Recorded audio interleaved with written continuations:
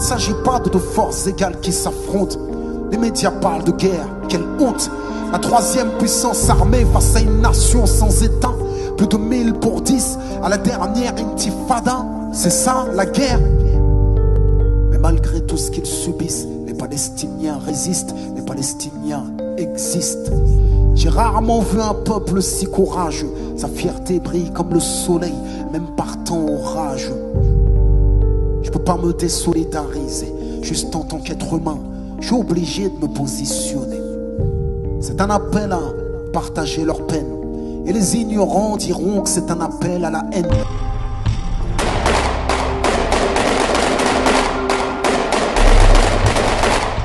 On ne nourrit pas l'injustice en la dénonçant, mais en la taisant, quoi qu'ils disent. J'écris avec le cœur et la raison. Car sans le cœur et la raison, il n'y aura jamais de paix à l'horizon. Parlons de faits, pas de vision.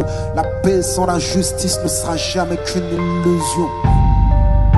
Sans le cœur et la raison, non, il n'y aura jamais de paix à l'horizon. Parlons de faits, pas de vision. La paix sans la justice ne sera jamais qu'une illusion. Pas de quiétude dans l'occupation. Quotidien, l'occupation, c'est l'humiliation. L'humiliation est violente, constante. Aux frontières des checkpoints, la liberté est agonisante. Je décris la détresse d'une nation qui, sur ses propres terres, n'a plus la libre circulation. Sous couvert de sécurité, l'apartheid se maquille et le mur sépare les familles. Les colonies se multiplient sous l'œil actif et complice des États-Unis. Négociations sans fin pour la création d'un État palestinien. Mais quand viendra l'heure, qu'est-ce qu'il en restera Quelques bouts de terre éparpillés.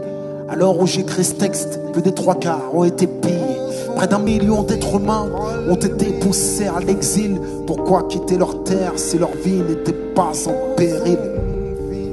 Et leurs biens sont devenus les leurs. Les espoirs de retour sont devenus des leurs. As-tu entendu parler de la dite loi des absents? Les biens des réfugiés reviennent à l'occupation.